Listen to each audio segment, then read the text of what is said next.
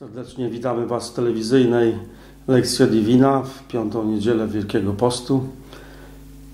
Dzisiaj we dwóch ksiądz Józef Maciąg, Szczęść Boże. ksiądz Robert Muszyński, ksiądz Sławek głosi rekolekcje wielkopostne. Dzisiaj rozważamy Ewangelię Świętego Jana, rozdział 8, wersety od 1 do 11. Posłuchajmy tekstu. Jezus udał się na górę oliwną, ale o brzasku zjawił się znów w świątyni. Wszystek lud schodził się do niego, a on usiadłszy nauczał. Wówczas uczeni w piśmie i faryzeusze przyprowadzili do niego kobietę, którą pochwycono na cudzołóstwie, a postawiwszy ją na środku, powiedzieli do niego: Nauczycielu, kobietę tę dopiero pochwycono na cudzołóstwie. W prawie Mojżesz nakazał nam takie kamienować, a ty co mówisz? Mówili to wystawiając go na próbę, aby mieli o co go oskarżyć. Lecz Jezus nachyliwszy się, pisał palcem po ziemi, a kiedy w dalszym ciągu go pytali, podniósł się i rzekł do nich: Kto z was jest bez grzechu, niech pierwszy rzuci na nią kamień. I powtórnie nachyliwszy się, pisał na ziemi. Kiedy to usłyszeli, wszyscy jeden po drugim zaczęli odchodzić poczynając od starszych. Pozostał tylko Jezus i kobieta stojąca na środku. Wówczas Jezus podniósłszy się, rzekł do niej: Niewiasto, gdzież oni są? Nikt cię nie potępił. A ona odrzekła: Nikt, panie. Rzekł do niej Jezus: I ja ciebie nie potępiam. Idź, a od tej chwili już nie grzesz. Ciężko być w sytuacji takiej kobiety, która jest właściwie zupełnie bez wyjścia. Nie ma nic na swoją obronę i właściwie w pewnym sensie nikt jej nie obroni. Otaczają taki jakby zaciskający się krąg śmierci, krąg oskarżenia. Z jednej strony jest to wyraźny przepis prawa, który mówi o tym, że za grzech cudzołóstwa grozi ukamienowanie, a z drugiej strony po prostu zła wola tych sędziów i teologów, którzy chcą się posłużyć Bożym prawem, żeby y, potępić ją, a także Jezusa. Właściwie ona jest tylko pretekstem, a chodzi im o zdyskredytowanie osoby Jezusa Chrystusa. W tym sądzie nie pojawia się y, przede wszystkim współwinowajca, a więc ten mężczyzna, z którym dopuściła się cudzołóstwa. Nie pojawia się też skrzywdzony mąż. Ona jest sama. Sama ma zapłacić za grzech popełniony we dwoje. Y, jest rzeczywiście takim pionkiem y, służącym do rozgrywki przeciwko Jezusowi i ma własnym życiem zapłacić za to, żeby Jezusa udało się jakoś skompromitować i doprowadzić do, do tego, żeby zaprzeczył samemu sobie albo żeby wystąpił przeciwko yy, temu, co mówi prawo, także przeciwko prawu rzymskiemu, które zabraniało wydawać wyroki śmierci w tamtych czasach. Yy, dla Jezusa też to była sytuacja bez wyjścia.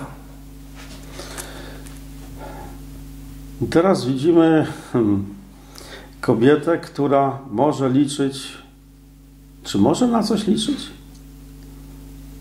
Kiedy ją postawili przed, przed Jezusem? Ona jest skamieniała zupełnie. Nie, nie mówi ani słowa, nie odzywa się. To Jezus ją wyrywa z tego, z tego stanu takiego rozpaczliwego milczenia, wręcz z nieruchomienia w strachu i w sytuacji roz, rozpaczliwej. Nie wiemy, czy ona na coś liczy. Y, być może ona po prostu nic nie czuje, czeka na pierwszy kamień po prostu. Już. Tymczasem Jezus y, postawiony też pod sąd, bo, bo to Jego wystawiają na próbę, Jego badają, czy jest wierny Słowu, Torze, czy jest rzeczywiście prorokiem, który Słowo wypełnia, który Słowa Bożego nie przekreśla, nie, e, nie odsuwa gdzieś, nie lekceważy, czy rzeczywiście jest prorokiem, czy też może zaprzeczy samemu sobie, bo przed chwilą mówił o miłosierdziu, o, o tym, żeby kochać nieprzyjaciół, mówił o, o miłosierdziu Boga, a za chwilę no, okaże się, że w imię, w imię miłości, mm, w imię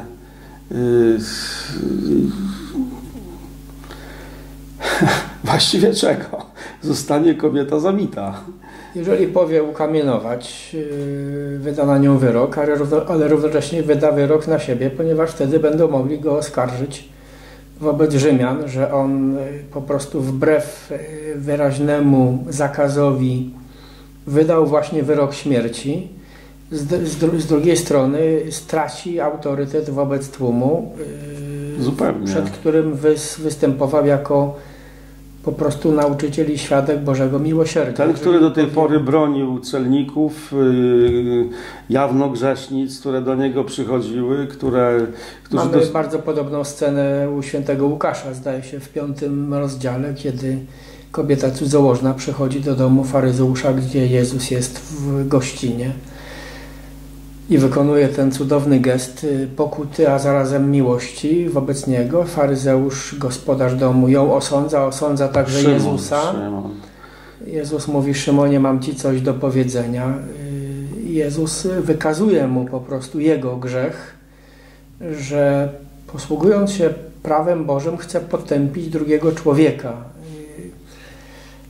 pokazuje mu, że Jezus, że Bóg, y, który daje święte prawo, nie ma na celu potępić grzesznika, ale go ocalić. I tutaj mamy bardzo analogiczną y, sytuację. Czyli y, prawo jest dane nie po to, żeby człowieka zabić, tylko żeby człowieka rzeczywiście zbawiać, ratować. Że jeśli, jeśli jest prawo, to pokazuje grzech, czyli tę śmierć, w której już jestem, a nie mm, żeby po prostu zlikwidować no, człowieka, który no, przestępuje to prawo. To nie Bóg o to chodzi. Y, mu mówi w Starym Przymierzu, nie chce śmierci grzesznika, lecz aby się nawrócił i miał życie. Jezus sam mówi, Syn Boży nie został posłany po to, aby świat potępić w rozmowie z Nikodemem, ale po to, by świat został przez Niego ocalony. Więc y, jest taka ciekawa sytuacja. Jezus nachyliwszy się pisał palcem po ziemi. Y, pytanie, co pisał palcem po ziemi? Nie wiemy. Jest pewna tajemnica.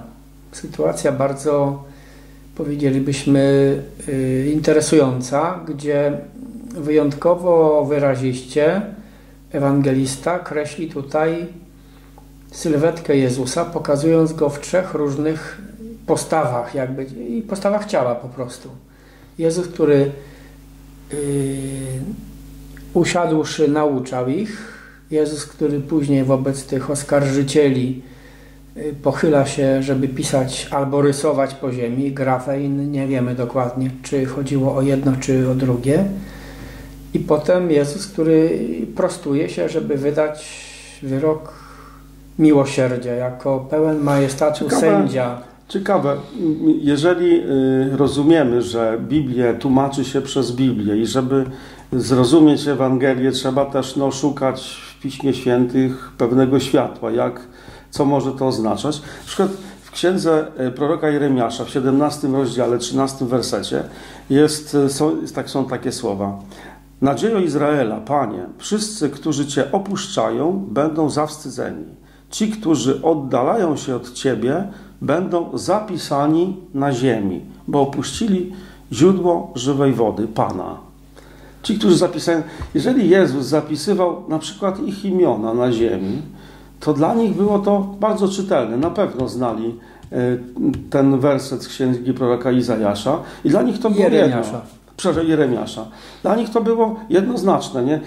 Czytasz e, moje imię, Robert, napisane, a za chwilę jest wiatr, za chwilę y, moje imię znika. Ja mam świadomość, że zostajesz jakby zmie, zmieciony z księgi życia.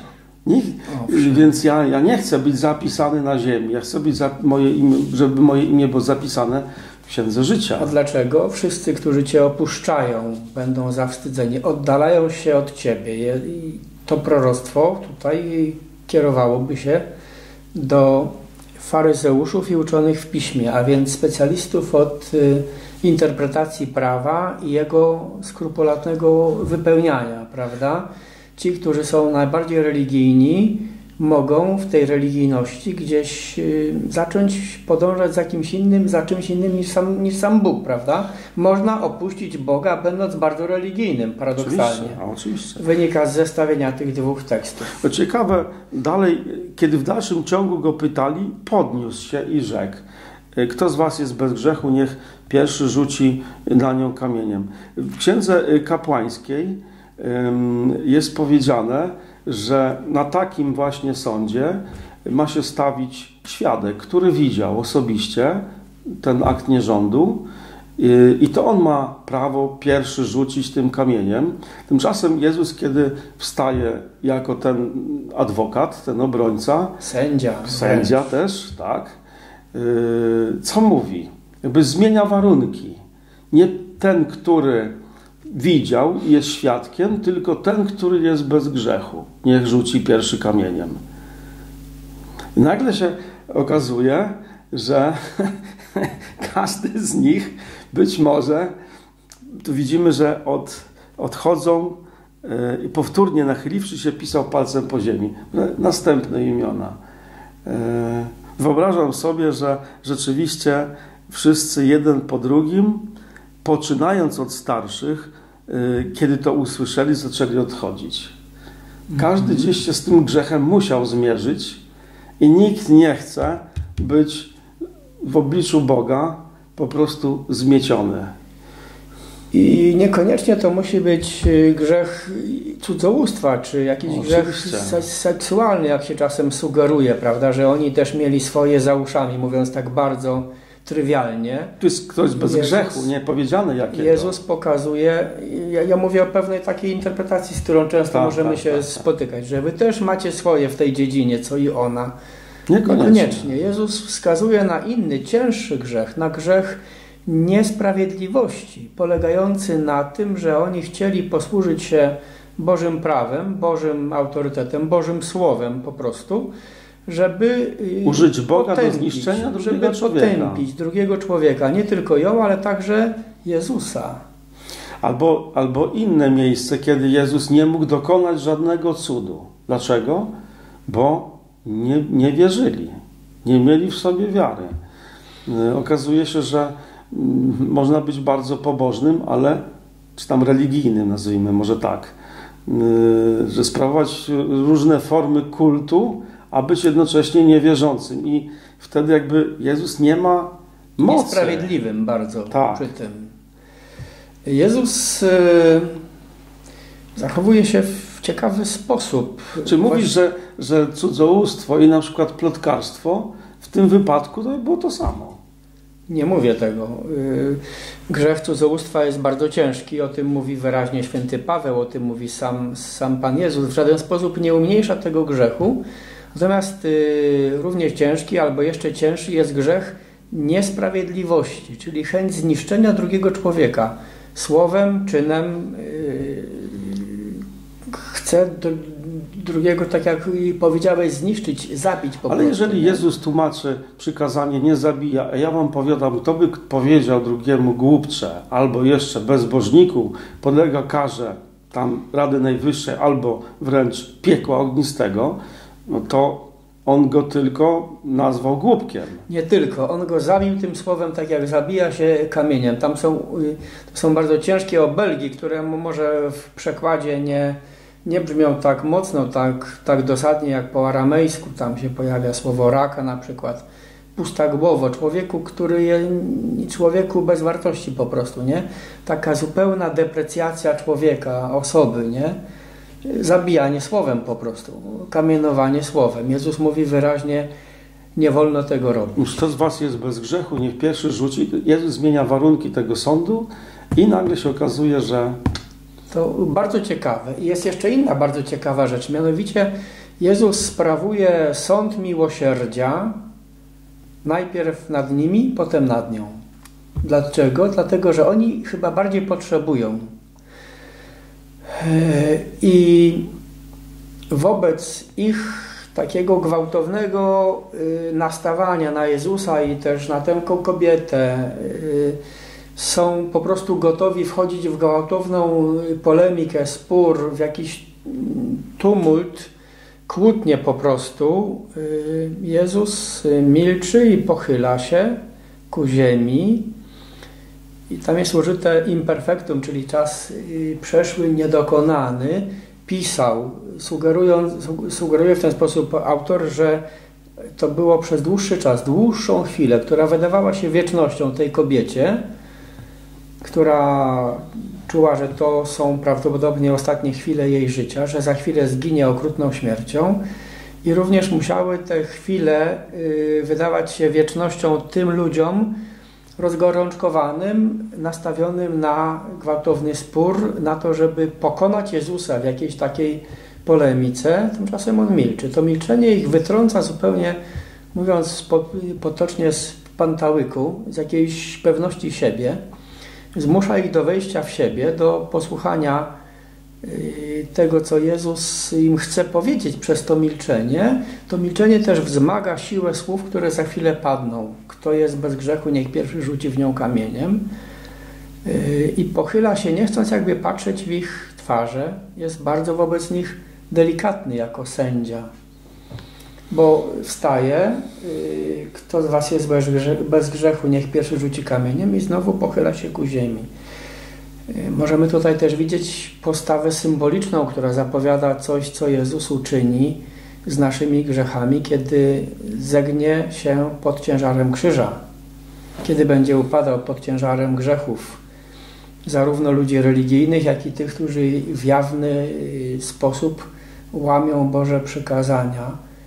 Postawa głęboko symboliczna pozwala im wejść w siebie, zrozumieć, że prawo Boże po pierwsze nie dotyczy nie, nie ma na celu potępić grzesznika, ale go zbawić, że Bóg daje nam czas na nawrócenie, na rachunek sumienia powiedzmy i na to, żebyśmy zrobili też rachunek sumienia pod względem traktowania drugiego człowieka, czy mają, uważając, że mam rację, mam świętą rację, bo mówię prawdę o czyichś grzechach, nie wyrządzam zła, chcąc drugiego człowieka potępić, tak jak to robi diabeł przy pomocy naszych grzechów kiedy domaga się Owszem, to, to jest prawda, że Jezus y, nie chce potępić ani jednych, ani drugich, ale y, dość twardo y, stawia warunki tym, tym ludziom, tym, tym uczonym, którzy, do których to w końcu jakoś tam dociera i to rozumieją. I ale... zaczynają odchodzić, a właściwie wychodzić. Tam jest użyte słowo pokrewne ze słowem exodus, jak wyjście z niewoli pewnej, nie? Wychodzą z tego dziedzińca świątynnego, z niewoli le, legalizmu takiego właśnie religijnego. Aczkolwiek Jezus później będzie musiał znowu stoczyć z nim kolejne bitwy, takie o nich w tym sensie, że będą go znowu atakowali, a on będzie znowu próbował ich ocalić. Ale spróbujmy, bo powoli nam się czas kończy, albo się już skończył, a dopiero o tą kobietę. Do dokończmy wątek właśnie, bo do, do, dopiero kiedy oni wychodzą, zostają sami naprzeciwko siebie, ci dwoje, tylko Jezus i ona, dopiero wtedy Jezus sprawuje sąd miłosierdzia nad nią. Nie? Tak. I teraz, y, co ten sąd oznacza? Gdzie oni są? Nikt się nie potępił, nikt, Panie.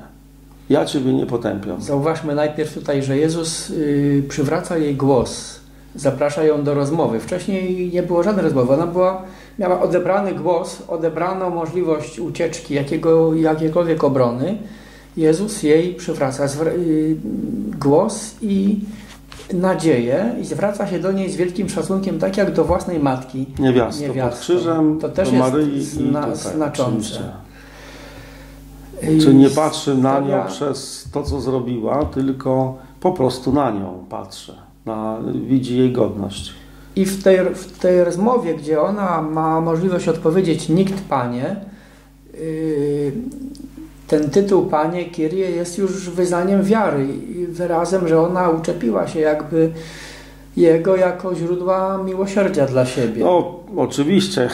W tym momencie, kiedy znalazł się, do niego wiarą. Jezus jest dla niej naprawdę Zbawicielem. On, on ją po prostu ocalił. To, to o to chodzi Dlatego przychodzi, żeby nas ocalić w taki właśnie sposób. Teraz największy problem człowieka, jaki, jaki my mamy, to nie, nie chcemy się uznać za grzeszników, nie chcemy się, jest wielki post, jest tak trudno przyznać się do grzechu. Dlaczego? Bo boimy się potępienia, bo, bo, bo boimy się, że ktoś nas uzna winnym, i, a jeśli uzna winnym, to znaczy, że nas skaże.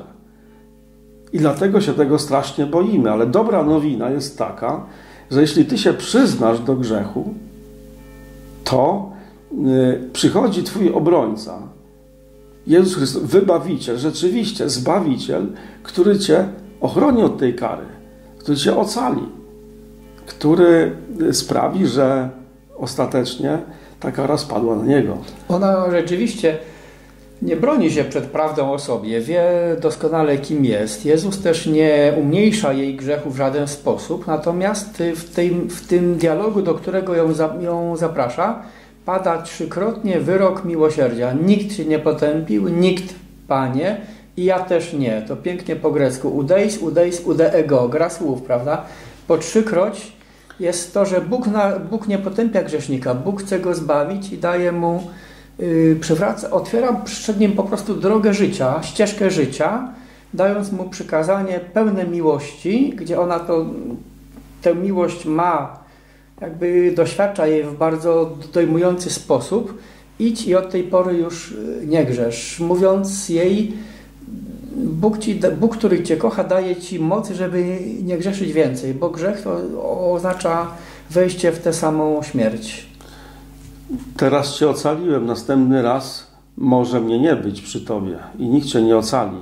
My sobie tak y, musimy to uświadomić, że y, grzech jest naprawdę śmiercią i że jeśli go powtarzamy, powtarzamy i powtarzamy, y, zaczynamy się do niego przyzwyczajać i, on jakoś, można powiedzieć, wrasta w nas, zapuszcza w nas korzenie, a potem jest bardzo trudno znaleźć Zbawiciela bardzo trudno jest wołać o, o ratunek. Bardzo trudno jest, y, żeby się no, taka sytuacja y, no, znowu zdarzyła. Może się nie zdarzyć. Dlatego no, nie wolno z grzechem sobie żartować i grać. Zapraszamy Was do y, osobistej medytacji tego słowa, odkrywania osobiście Jezusa jako swojego Zbawiciela, ksiądz Józef Maciąg i ksiądz Robert Muszyński. Błogosławionej niedzieli życzymy wszystkim i błogosławionego przedostatniego tygodnia Wielkiego Postu.